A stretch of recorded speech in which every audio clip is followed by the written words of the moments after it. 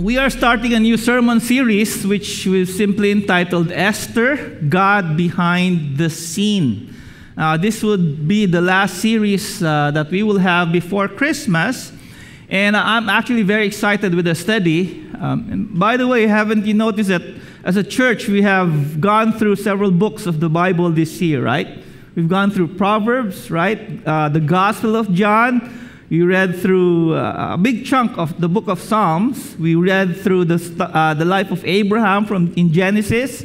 And we're also looking at the book of Esther. Amen, right? That's good. Now, the book of Esther has 10 chapters, and so we're going to be spreading the readings in the next few weeks, and by the end of the series, you will have read through the book of chapter as well. So check out uh, the Bible reading guide at the YouVersion, uh, on the YouVersion app as well, and uh, we're also going to be posting the, the readings on our FB page uh, later today. Now, uh, this morning we're going to be covering uh, Esther's chapter 1 and 2. But for our scripture readings, we'll look at a few verses from Esther chapter 2. So, once again, can I invite everybody to please rise up from your seats as we read the Word of God? Let's read Esther chapter 2, verses 5 to 10, and then from verses 16 to 20. Can we read this together? Now there was in the citadel of Susa a Jew of the tribe of Benjamin named Mordecai, son of Jair, and son of Shimei, and son of Kish, who had been carried into exile from Jerusalem by Nebuchadnezzar, king of Babylon, among those taken captive with Jehoiachin, king of Judah. Mordecai had a cousin named Hadassah, whom he had brought up because she had neither father nor mother. This girl, who was also known as Esther, was lovely in form and features and Mordecai had taken her as his own daughter when her father and mother died. When the king's order and edict had been proclaimed, many girls were brought to the citadel of Susa and put under the care of Hegai. Esther also was taken to the king's palace and entrusted to Hegai, who had charge of the harem. The girl pleased him and won his favor Immediately, he provided her with her beauty treatments and special food. He assigned to her seven maids selected from the king's palace and moved her and her maids into the best place in the harem. Esther had not revealed her nationality and family background because Mordecai had forbidden her to do so. Let's jump to verse 16.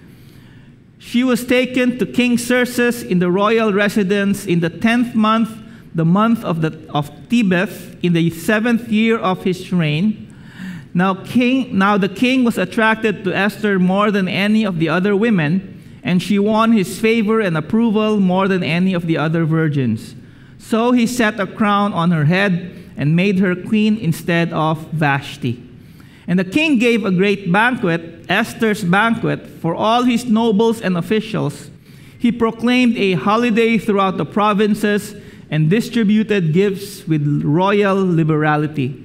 When the virgins were assembled a second time, Mordecai was sitting at the king's gate, but Esther had kept secret her family background and nationality, just as Mordecai had told her to do, for she continued to follow Mordecai's instructions as she had done when he was bringing her up. Let's pray.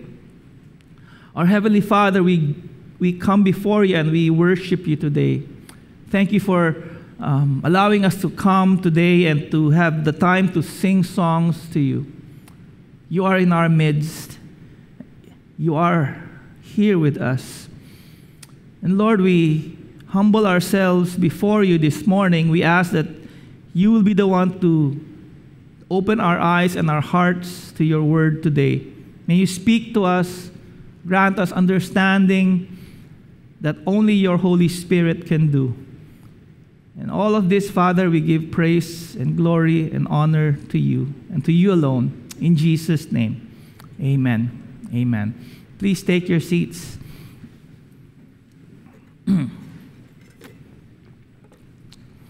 How, many, how many of you have ever watched a game where you already, knew, you already knew who would win? Nah? There was this time, um, it was Sunday after the service, we were having lunch at the restaurant, and it was one of those Pacquiao fights. And I actually forgot which one, but the place where we were eating, there was this large TV right beside our table, and they were showing the fight, but it was a delayed telecast. And so, you know, as we were watching Thrilling Kayang game, you know, we were looking at the fights. And I was the only one who had data. So what I did was I actually checked online what the outcome of the fight was. And it, it turned out it was one of those fights that Pacquiao lost. And so, you know, the, the good guy that I was, I told everyone the outcome. Pildi mo si Pacquiao, And you know what happened? Everybody was bummed out. Dinatamutan na ano let's not watch this anymore. Now, how many of you have, you know, hate to be, to be given spoilers? How many of you hate spoilers? You know, whether it's about a game or the result of a, uh, the story of a movie or a book right? There are many who do not like spoilers. We want to be able to watch a, a movie or, or watch a game and read a book and go through the ups and downs of the story without knowing how it would end, right? But I think there are also some of those of you who would rather know the ending ahead of time. Anyway, what, what's, what am I driving at? I want to begin today's message by giving you a few tips on how to read the book of Esther.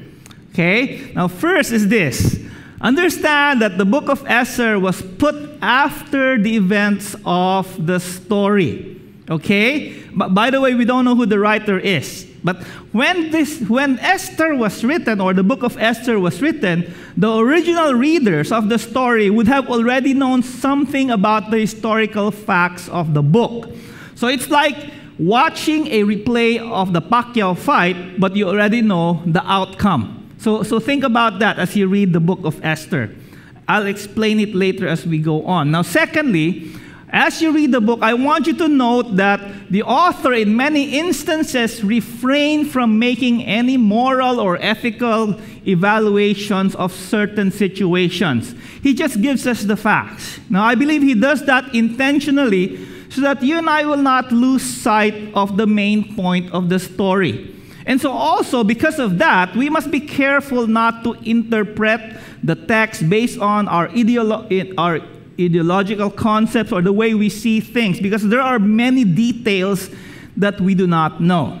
Okay? And thirdly, you need to read, this is the most important thing, you need to read the book within its historical context, which was Persia in the 5th century BC. Okay? Now, the book introduces us to a community of Jewish people who were living in a city named Susa.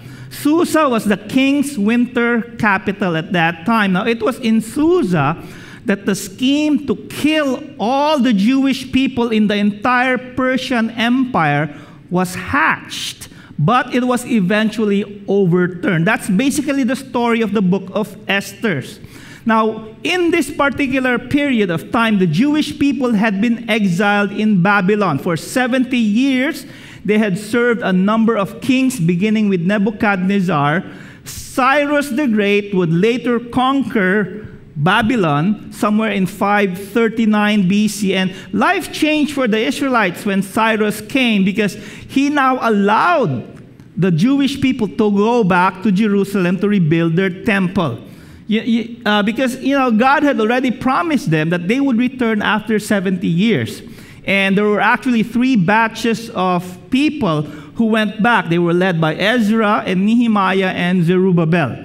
However, here's the thing the vast majority of the Jewish people chose to either remain in Babylon or to move further uh, east to Susa. Okay, and so Susa is where the story of Esther belongs to in this particular period in the history of the Israelites. And at this time, the ruling king was a guy named Ahasuerus or um, Xerxes the first, who ruled from 485 to 465 BC.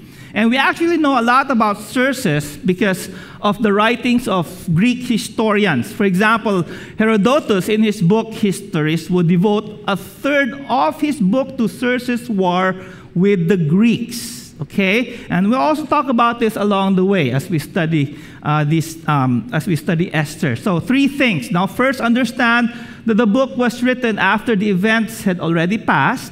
Secondly, note the author deliberately does not comment on some issues. And then thirdly, read the book again. Read the book in its historical context. Now, there's a lot of reasons why we would benefit from a study of the book of Esther.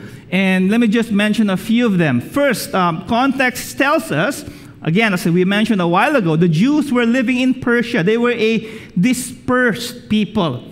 That means that they were a religious minority. They were living in a society which was dominated by moral and spiritual values that were very different from their own. And so, if you think about it, how, how do you relate as a minority living in a dominant culture? What do you do? Do you withdraw so that you can remain completely pure? I think on a practical level, that's almost impossible, right? For example, think about today. Social media is a very dominant part of society today. Many of us complain that, you know, after scrolling through FB, we end up depressed. But you know, do you totally withdraw from Facebook or, or from other social media platforms? In most instances, you really can't, right? Or on the other hand, think, think about this. Do you try to just fit in and, and keep your views private and secret? That doesn't seem quite completely right either, diba? Or on the other hand, do you protest everything and complain and critique everything? Would you do that? I mean, oftentimes, when if we actually do that all the time, we would come out as unkind and ungracious, and, and sometimes it results in bad testimony, di ba?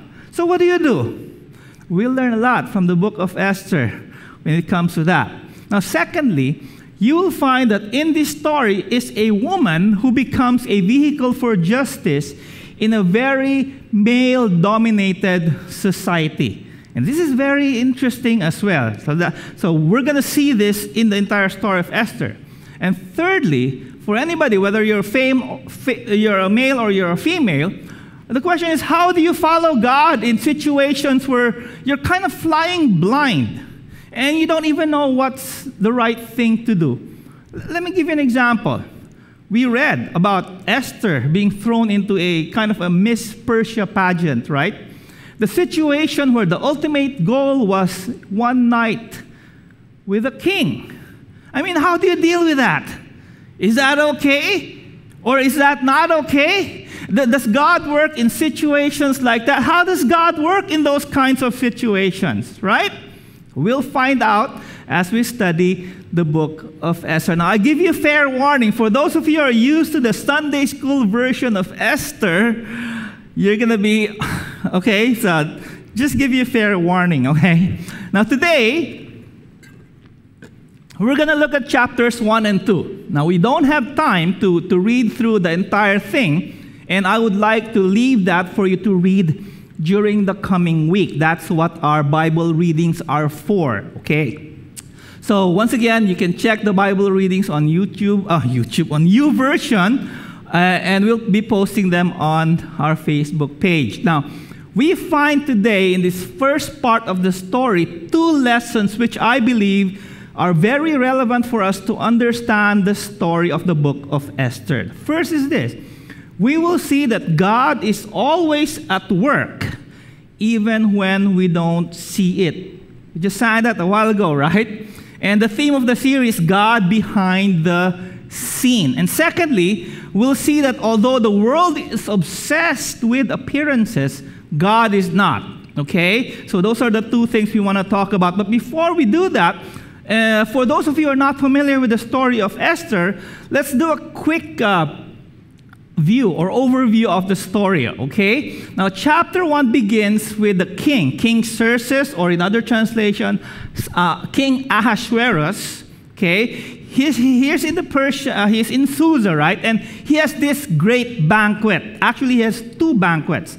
The first one was a 180 day banquet, and the second was a seven, seven for seven days. Okay? Now, if you didn't get that, 180 days is how many months? That's six months, okay? Six months banquet. That's really extravagant by any standards. Now, during the banquet, Xerxes gets drunk.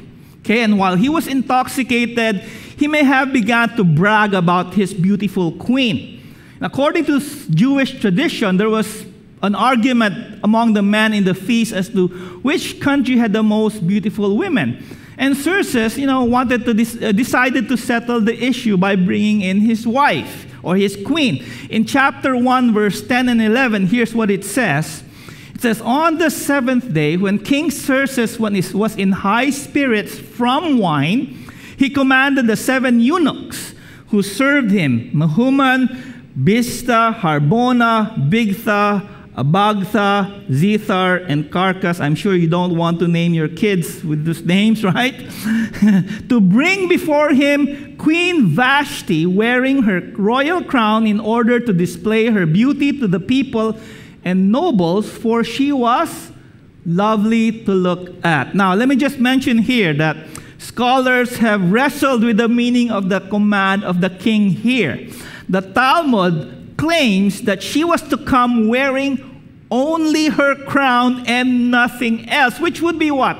Very scandalous, right? even to ask the queen to do that.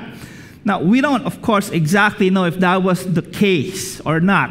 But for reasons that are unknown to us as well, the queen refuses. Okay? And of course, that was a very brave thing to do because when you read later in the book uh, of Esther, you will find out that the king wields very uh, wields, wields a lot of power. And for you to say no to the king, there would be consequences.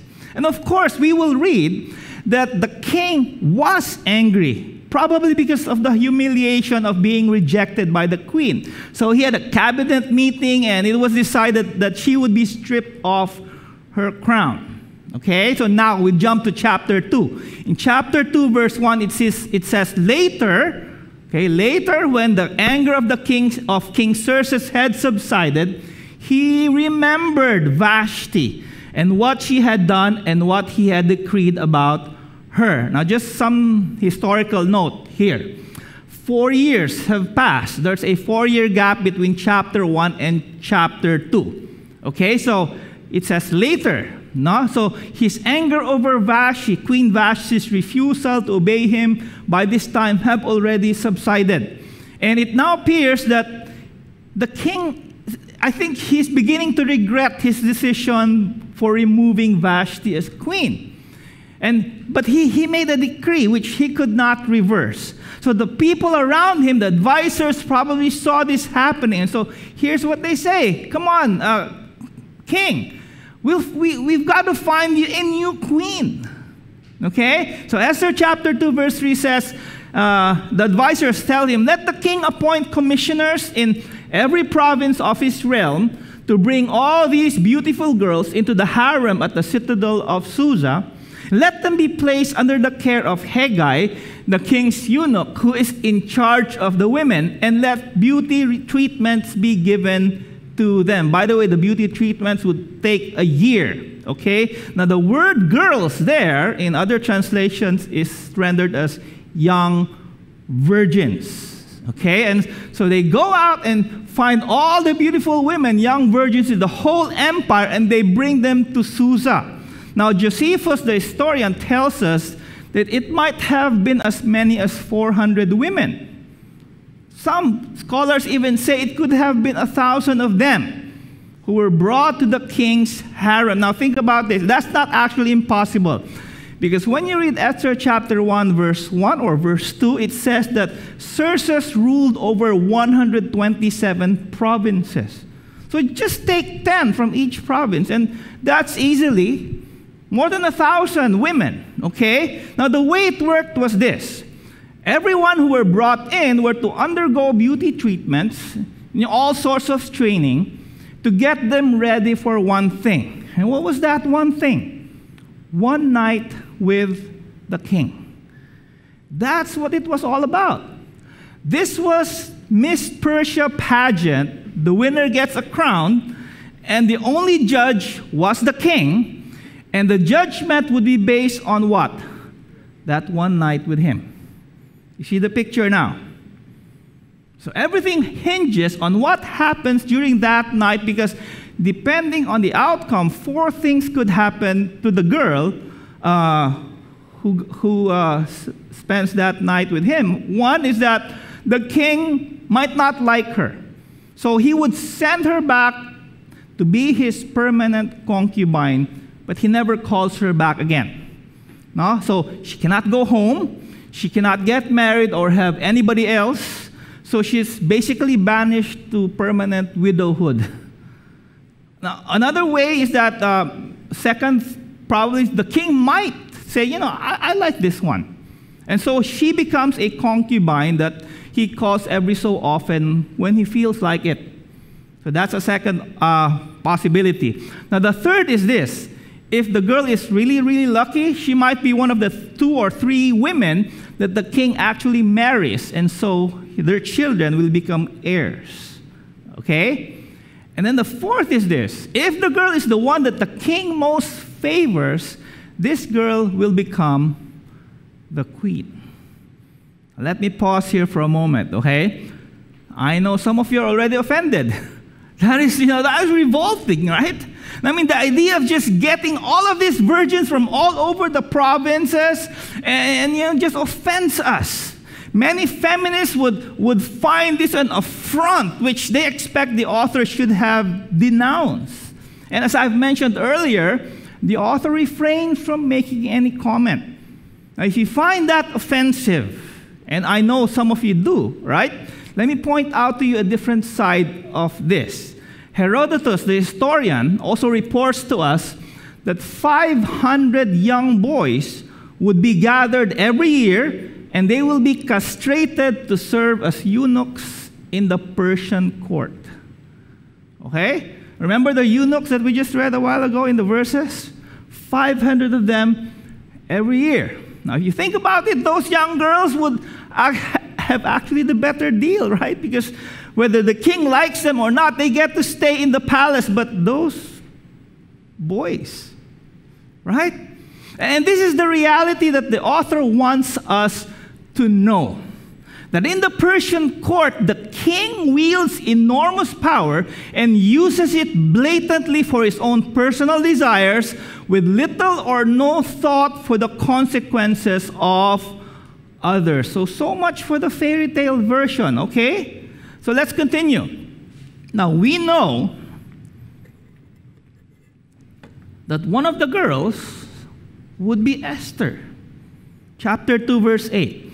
When the king's order and edict had been proclaimed, many girls were brought to the citadel of Susa and put under the care of Hegai that's one of the eunuchs, right? Esther also was taken to the king's palace and entrusted to Hegai, who had charge of the harem. Now, the phrase was taken is in the passive tense, and Charles Swindoll uh, suggests that it could have been it could have meant taken by force because that's how it's rendered in other places in the Old Testament. Karen Jobes, in her um, commentary of Esther, says the passive voice is used frequently throughout the story, suggesting that the characters are caught up in events by some unseen force that has ultimate control. So, the very least, we can say that Esther went reluctantly, very likely even forcibly. Okay? Now, we don't know her age when this happens. But many scholars believe that she was in her teens, around 15 years old. Not as much, not more than 20. Okay, let me just let that settle in for a moment. Okay, just think about that, okay? And her Jewish name was Hadassah, chapter 2, verse 7. Esther is her Persian name. Some believe that she was named after the Persian goddess of love, Ishtar. So that sounds like Esther. Uh, the Hebrew authority, also says actually that the name is derived from the word that means to hide. And so the name Esther could mean something hidden, which is very interesting because that's the theme of the book as well. Now, Esther, we know, was raised by his older cousin, Mordecai, because we are told that she became an orphan. Okay? so when he took her, uh, when, when they took her to, to the harem, Mordecai instructed her not to say anything about her Jewish identity. And, and so what happens so while she was in the harem, nobody knew that she was Jewish.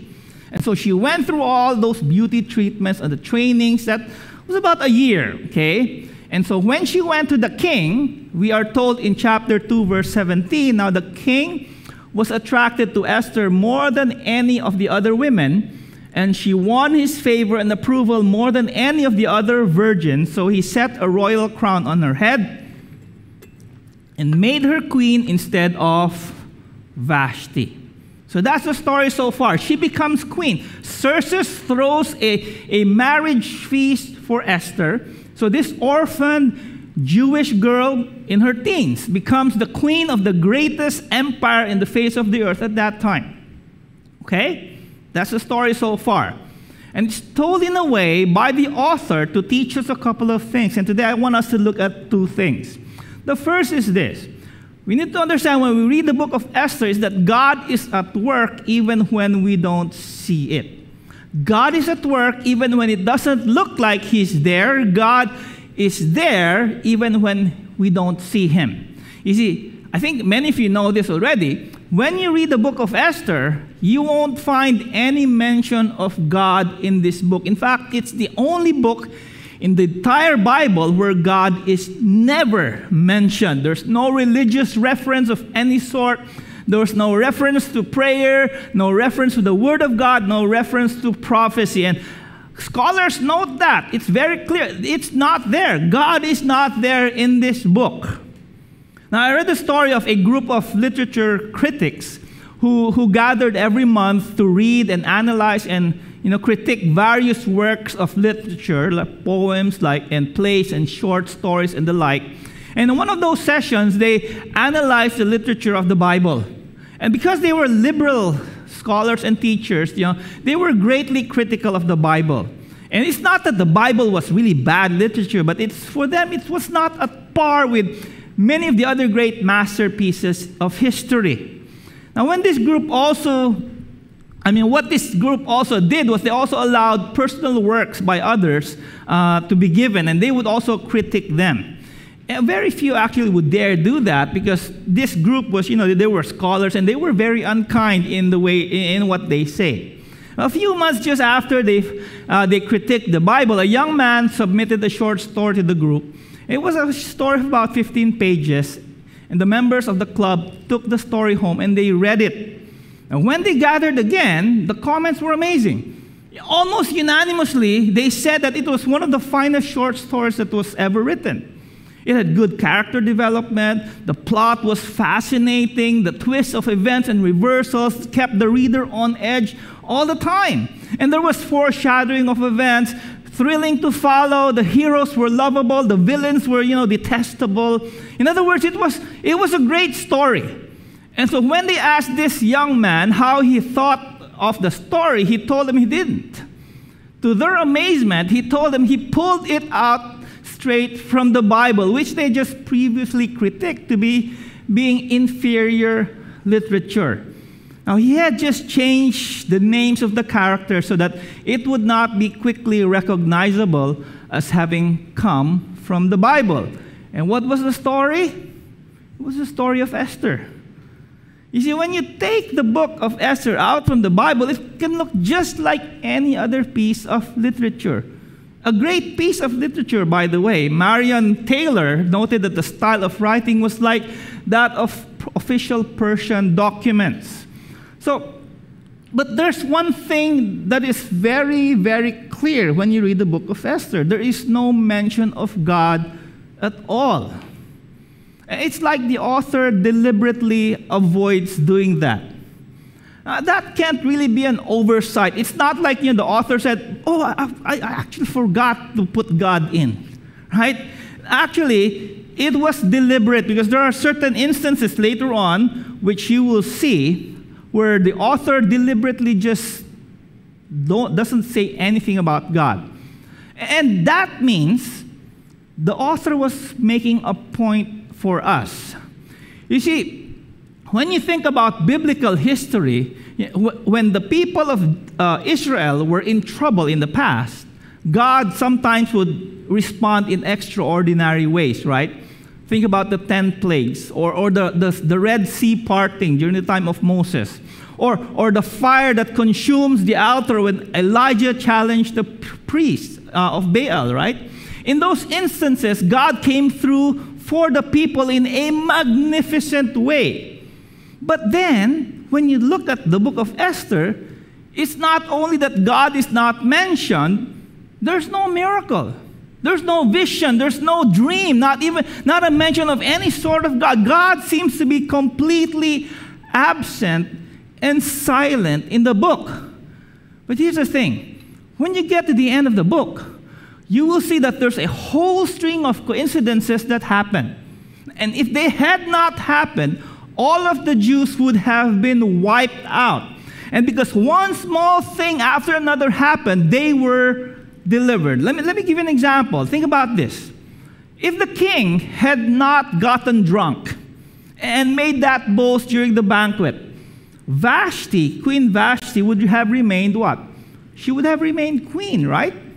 But that's exactly the plan of God. Because if it had not happened, and the story goes without Esther becoming queen, she, she would not be in the position to save the Jewish people. Here's another thing what if Esther was not pretty? right? And even if she was pretty, remember there was this a whole host of women, a thousand, four hundred to a thousand of them. She she bested all of them. How could that have happened? Here's another one. At the end of Esther chapter 2, we, we didn't read this, but you, you will read this within the week. Um, Mordecai hears about a plot to assassinate the king. He would tell Esther, who would by now have become queen. And what you will read is that even though the king knew that Mordecai had thwarted an, an assassination attempt, he forgot to honor him. And there was this one night, you will read that in chapter 6, when the king could not sleep. You know? And so he could not sleep and he decides to, to open the record books and, and read and, read them. And he, he, it was read that Mordecai did this. And he, he realizes, wait a minute, I was not able to honor Mordecai for what he had done. And so what he did is he honored Mordecai then. Now here's the thing if the king did not forget and actually honored Mordecai right back when it actually happened, it would not have saved anybody. But the king honors him at a certain time, which was crucial in the story. And you will find in this book coincidences after another, after another. And they're all ordinary things, just the sort of things that you would look at and you would not see them as anything that's miraculous. When you see, for example, the Red Sea parting, you know that's God, right? But when King Xerxes gets drunk and he declares and calls Vashti to parade in front of everybody, you don't say, Wow, that's God at work, right? And the author is trying to tell us in this book that you and I must not make that mistake. Because he is telling us that God was at work. When he made that promise to Abraham in Genesis chapter 12 that through his descendants all the peoples of the earth will be blessed, God already knew. He already had in mind what he would do when the story of Esther happens. So, if all those little coincidences had not occurred, if the king had not gotten drunk that night, the Jews would have been annihilated and wiped out of the map of the earth. There are no coincidences. It is God at work through the ordinary, and this is really, really important for us to understand. I think of my own personal experience. You know, when I was in my 20s, I never thought I'd become a pastor. I, I, some, some of you know this. I always said that, you know, pastor, di it's a thankless job. And at that time, I wanted to know the will of God, but I understood. And uh, my understanding was that the will of God would be very difficult to find out. And I had this idea that if you're going to be called to be a pastor, there has to be this fantastic way that God is going to make it known to you. But you know, when I look back, I realized that in my story, there were a string of incidents that happened that brought me to where I am today. Now, many of you know that I was in academia for more than 20 years. And it would have seemed that that would be the career path that I would be taking for the rest of my life. But then one day, about more than a decade ago, there was this Chinese Bible study that was opened uh, in Banawa, and I was called by Pastor Mel. Uh, was it Pastor Mel or Sister Marie? And she invited me to join the Bible study. You know, I think my wife knows this. I reluctantly joined. Little did I know that I was going to be asked to handle the Bible study. First, I was just going to join it, and then I was going to handle it. That really escalated very quickly. Okay? And, I could not say no because it was Pastor Mel who asked me, Nic, ikaw lang handle ani. And you know, and it turns out that there was another Chinese Bible study that was running parallel to ours, and we got to know each other, and we decided to open a Saturday service in Park Lane Hotel. And, you know, we had this whole string of pastors who were supposed to teach because it was a Saturday service, you know. Pastors preach on Sunday. So we'll have a lot of them who would come to preach every Saturday. Now, because I was one of the Bible study leaders, you know, and it was a fairly small congregation, 30, 40 people, I would preach occasionally when the real pastors were not available. But those pastors became unavailable so often, I had to preach more often. Eh, long story short, I eventually became a pastor. And who would have thought? Not me. But that was how God orchestrated things for me. There was incidents, small things that came one after another. You see, for many of us, here's what we think. We think that when God works in amazing ways, we see it. But when God works in the ordinary and in the mundane, we think He isn't there. But He is. Amen. When God is silent, it doesn't mean that He is absent. When God is hidden, it doesn't mean that He has abandoned us. He is working out His purposes and He's keeping His promises, even when it looks like He is not there. So, where are you today in your journey of faith? Are you discounting the significance of your ordinary days? Are you sighing instead of singing? And are you wondering what good will come out of this? All of these things that are happening to me today. If there's anything that you should remember from this story, it's this whether you see him or not, God is working. Amen? He specializes in turning the commonplace into the meaningful. Now we know that God is sovereign over the events of governments and empires of the world, but He is also working in the midst of the usual, ordinary, regular days. God is at work even when we don't see it. Now here's the second lesson God doesn't care about externals. God doesn't care about appearances. Let's look over at the two chapters again. Now, in chapter 1, when you read chapter 1, it begins with a great banquet. How long was the banquet? 180 days, right? No wonder you know, got drunk. 180 days for six months. Every kind of display of the majesty and the glory of Xerxes would be exhibited to, to the people for the, from all of his slaves to the riches that he had. This was, it, it had all the ingredients of a pagan celebration. Probably loud music, maybe wild dancing, a lot of drinking to excess. Here's how it's described in Esther chapter 1, verses 6 to 8. It says, it says, The garden had hangings of white and blue linen, fastened with cords of white linen and purple material to silver rings on marble pillars there were, there were couches of gold and silver on a mosaic pavement of, of, of porphyry, marble, mother of pearl, and costly stones. Wine was served in goblets of gold each one different from the other, and the royal wine was abundant in keeping with the king's liberality. But the king's command, by the king's command, each guest was allowed to drink in his own way, for the king instructed all the wine stewards to serve each man what he wished. So, can you imagine that party for six months? And scholars have actually observed the detailed descriptions that you will find in Esther chapter 1. It was really just a show of power.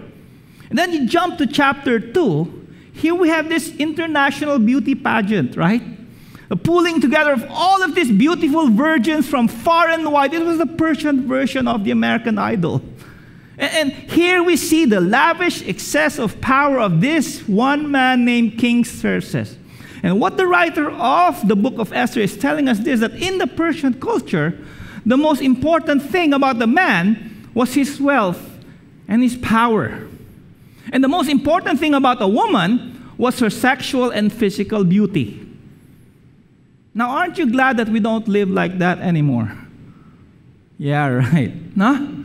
We know the world has not changed. It's exactly the same. The world is Xerxes, and it tells us externals, your image, appearances matter more than who you are. The color of your skin matters more than your character. What you have matters more than your integrity. Beauty, money, talent, power, connections, those things matter more than who you are. And therefore, you have to get all of these credentials. Unless you have the money, unless you have beauty, unless you have these kinds of resume, unless you get all of these, you're worthless.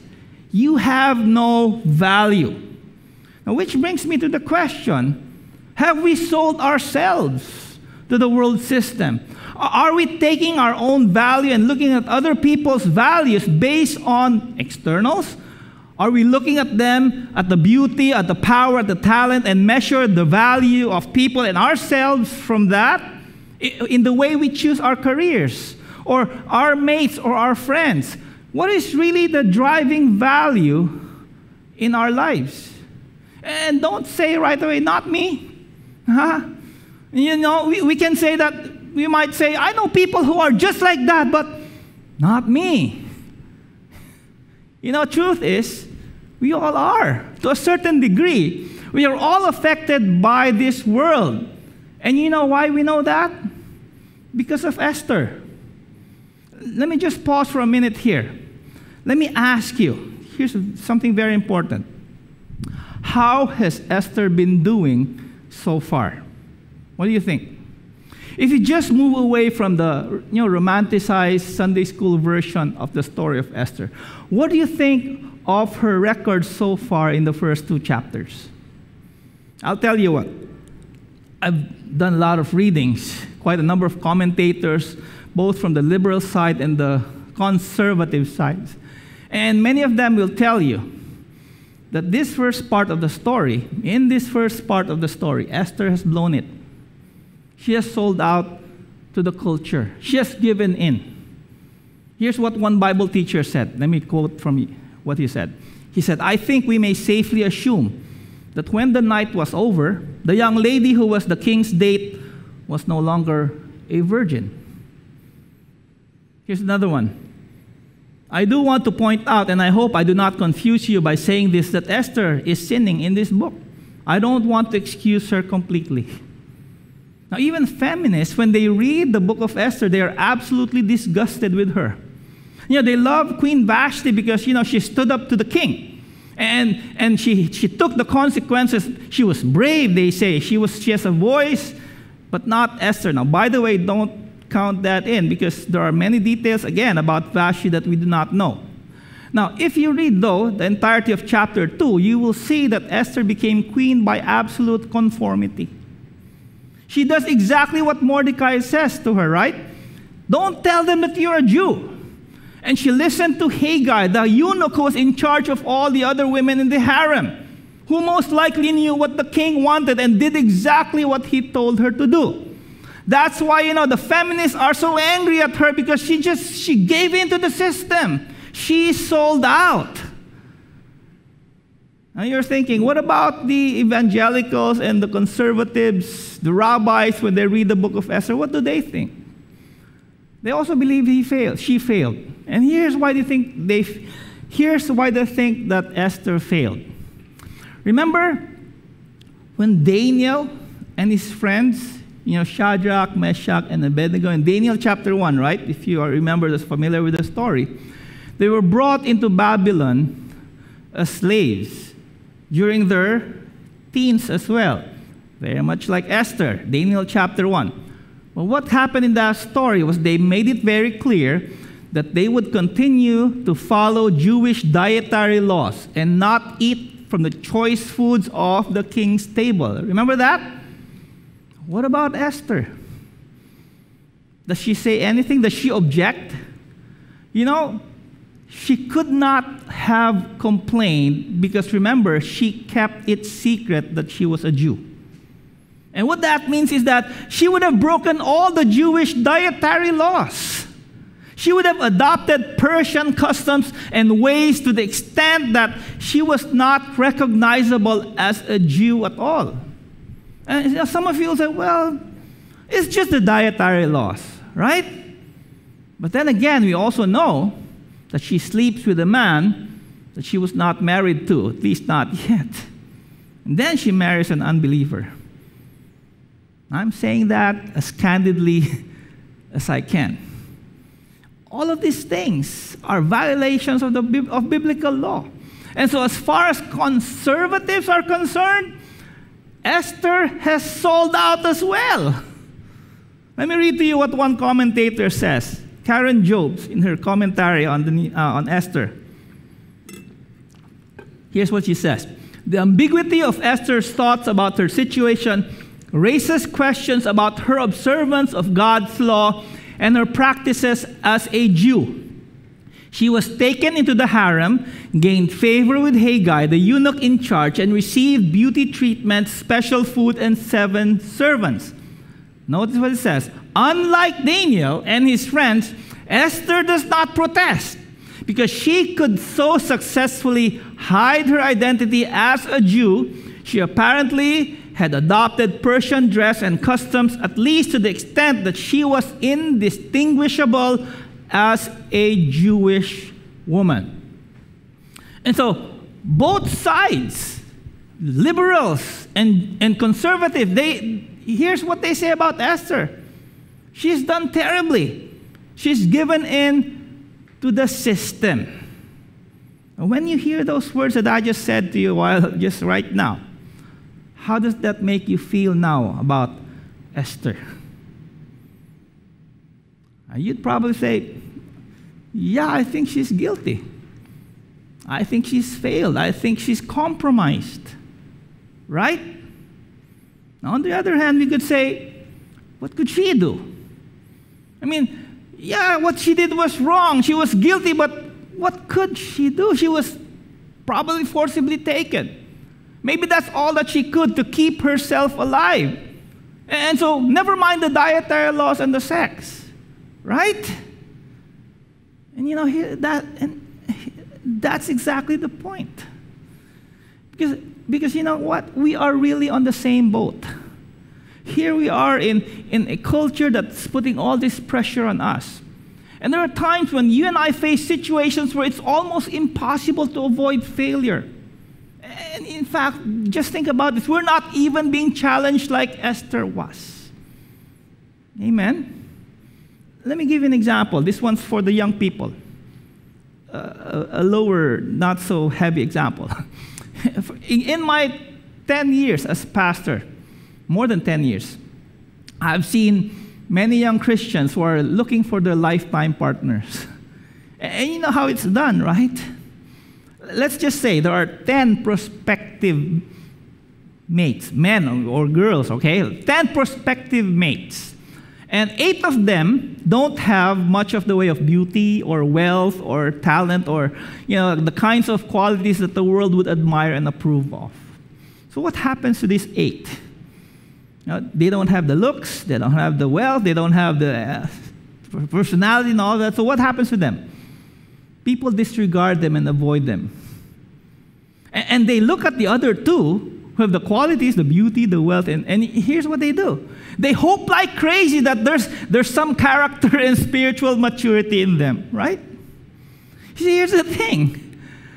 The first criteria that we use is the criteria of the world. And after that, okay, so let's look at some Christian standards like maturity and integrity, and, and let's hope they have some of it. And as a result, there's actually a lot of prospective, wonderful people that we just walk by. Whether you like it or not, here's the truth the world is affecting us much more than we care to admit. And so, once again, the question are we guilty ourselves of selling to the world? Are we guilty, just like Esther? Are we doing that? To be honest, yes. To some degree or another, we all are. And, and, I know there are some people, some Christians here who have really done a bad job, just like Esther. She's got off to a horrible start. She failed miserably. And when you think of your own life, you know you have made one mistake after another, after another, after another, and you just say, I am just tired of looking at my mistake. I am just tired of all the compromises that I have done. But here's the beauty of the story. By the end of the story, Esther is transformed. Because God works with her. God stays with her. God does not give up on her. And God turns her into something great. And here's what that means that no matter how bad you have failed at the beginning of your life, no matter what wrong things, what wrong moves you have made in the past, God does not give up on you.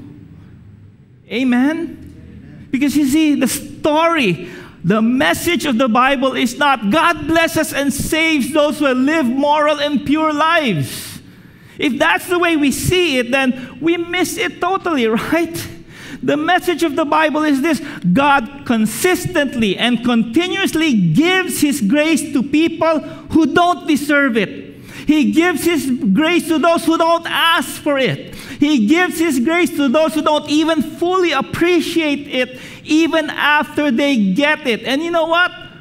We're just like that. Amen. And that means, in spite of the fact that you and I are polluted by the world, and if you're honest, you will admit that we are. But here's the thing God does not give up on us. Amen. God does not give up. So if you are there today, you feel like you're an Esther, you feel like you have failed, remember this God is the God of the unseen. In the mundane, in the ordinary, and even our failures, He is there. Amen. You know, real beauty is different than what the world says it is. And oftentimes, you and I can't see it. A lot of times we judge a book by its cover. Amen. We value ourselves and others by the standards of this world. And when the world, like King Xerxes says to you, I will be your spouse, but you have to be beautiful. You have to have this. You have to achieve this. You have to have all of these com- competencies. And then and only then will I approve you. And we all buy into that. And here's the thing to remember every Christian must understand that you are not who the world says you are, you are who God says you are. Amen? It is time for us to get the real definition and beauty, the definition and beauty from God. Let God define who you are. Because ultimately, it is His acceptance that matters to us. Amen. So here's two lessons from these chapters God is at work, even when we don't see it. Number two, God doesn't really care about the appearances and the externals. Amen. You know, earlier in the introduction, I told you that the story of Esther was written way after the events have occurred, right? And that means when the original readers read the story, they would have looked at it from a different set of lenses. Here's the thing history tells us that Xerxes returned from Greece four years later after a great de- defeat. He was defeated by, uh, in, in that battle. In fact, some historians say that you know, he took one to two million men into his ar- of his army, and only about 5,000 of them returned. So Xerxes had to retreat home. He was defeated. He was in shame. And later on, Xerxes would be assassinated. Now, think about this. Since the author of Esther was writing after the fact, right? He could have started his story by introducing Xerxes as the king who, who lost the Greeks, or as the king who was assassinated. But instead, when you read Esther chapter 1, chapter 2, you will see that he chose to introduce Xerxes as in his splendor, in the optimism of his glory, of his glory days. But the effect to the original readers would have been like watching the Pacquiao match and saying, I pildi man to siya. I know how it ends. And the, the author wants us to see the irony. Not just the irony, but the reversal of the king's fortune, which would have been known to the author and to the readers, which he would have been setting now the stage for another reversal in the story of Esther, which we're going to read in the next few weeks. And I hope you're looking forward to that, okay? Meanwhile, the simple point to remember today is this our God reigns. He's sovereign in all things. He's able to use even the weakest link in the chain of events so that His perfect will can be accomplished. Now, He's the God who never gives up on you, He's the God of the seen and the unseen. Amen. Let's pray together.